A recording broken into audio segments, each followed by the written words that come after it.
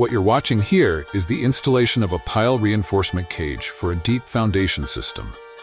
This reinforcement cage is massive, over 35 meters long, and designed to support a structure that'll rise more than 30 stories above ground. Before this stage, a bored pile was drilled deep into the earth using a mechanical auger, forming a vertical shaft. Once the hole reached the required depth and quality checks were completed, concrete placement began at the bottom of the borehole. Now comes the critical part, carefully lowering the steel reinforcement cage into the fresh concrete.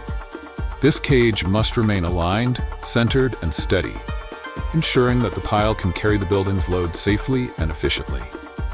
The crane slowly guides the reinforcement down the shaft, section by section, while workers ensure everything stays true to position.